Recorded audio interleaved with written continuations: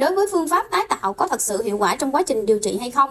Thì đây là trong những khách hàng có tình trạng bệnh lý về mụn viêm khá là nhiều. Thì uh, khách hàng cũng tìm uh, hiểu và biết uh, Nguyễn Trân qua những cái trang mạng và tìm đến tại cơ sở.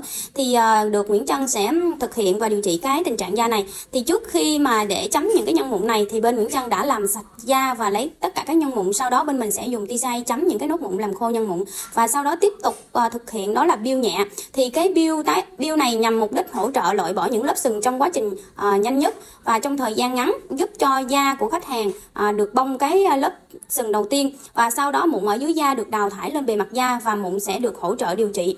Sau khi thực hiện bill xong thì Nguyễn Trân hướng dẫn à, cho khách hàng về nhà mình sẽ sử dụng thêm cái đó là sản phẩm à, serum thảo dược tái tạo mình sẽ bôi thoa mỗi ngày. Thì em serum thảo dược có khả năng hỗ trợ giảm viêm và kháng viêm những cái tình trạng à, mụn bị bội nhiễm như thế này.